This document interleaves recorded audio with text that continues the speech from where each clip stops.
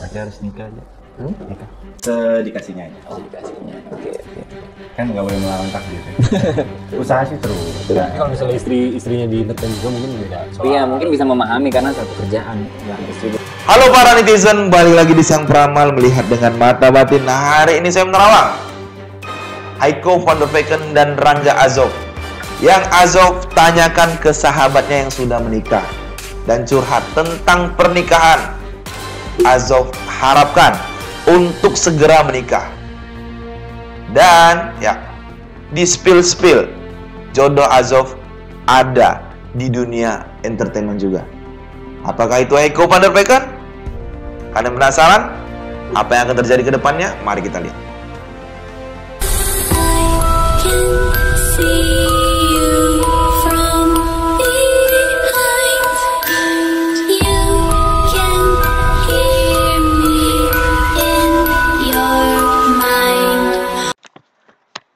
Azov curhat tentang pernikahan kepada sahabatnya yang sudah menikah. Dan Azov harapkan untuk segera menikah. Oke? Azov spill-spillkan. Jodohnya ada di dunia entertainment juga. Apakah itu Aiko van der Vecken yang kita tahu? Azov terlalu bucin dengan Heiko van der Vecken. Mari kita lihat apa yang terjadi ke depannya. Kartu pertama yang keluar adalah pack of cups. Kita lihat di sini. Ada seseorang pria memegang satu buah cups. Di dalam cups ini ada ikannya.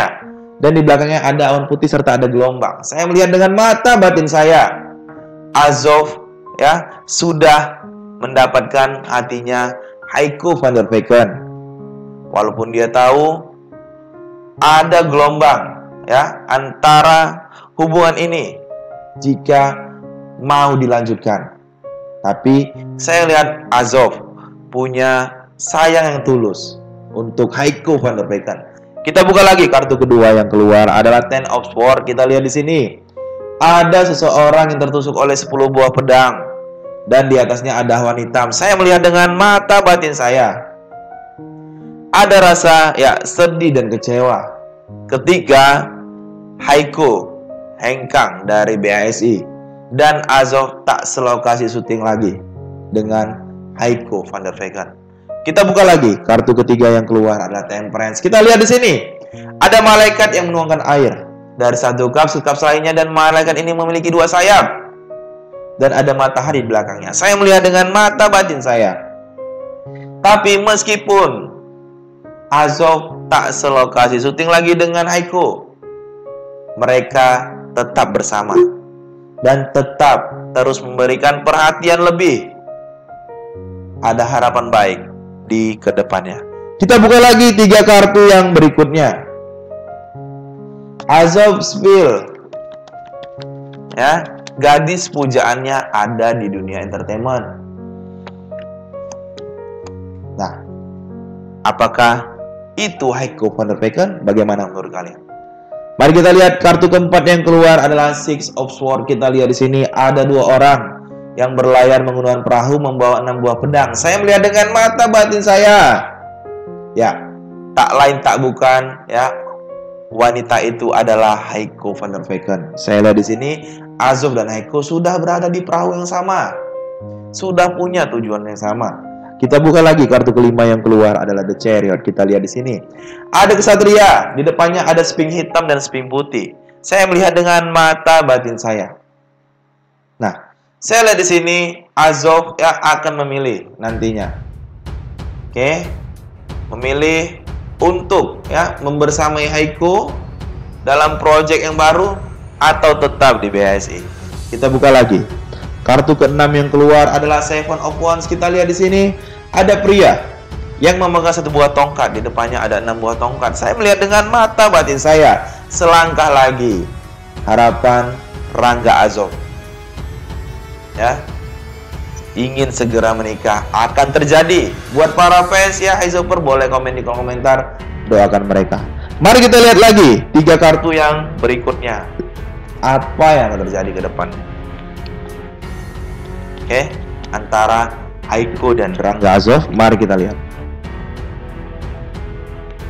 Kartu ketujuh yang keluar adalah The Star. Kita lihat di sini ada seseorang yang menuangkan air dari satu cup ke cup lainnya.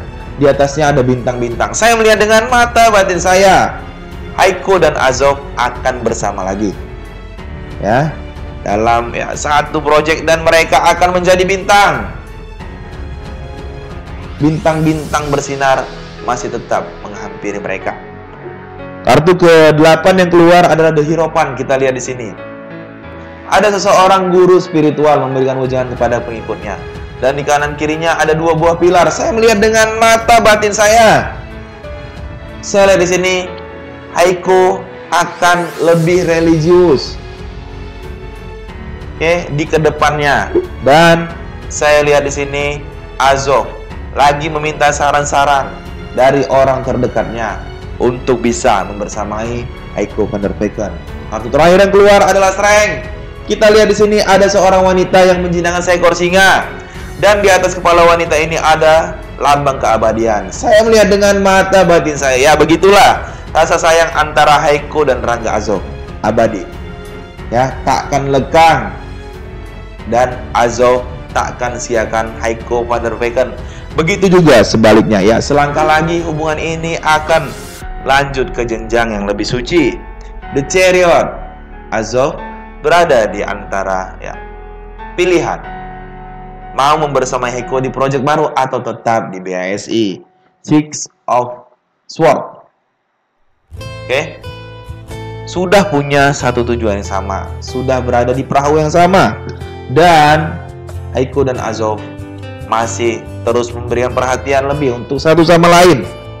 Walaupun yang kita tahu Haiko ya engkang dari BSI dan ini membuat ya Azov sangat rindu. Saat-saat mereka bersama di lokasi syuting. Tapi saya lihat Azov dan Haiko masih bersama.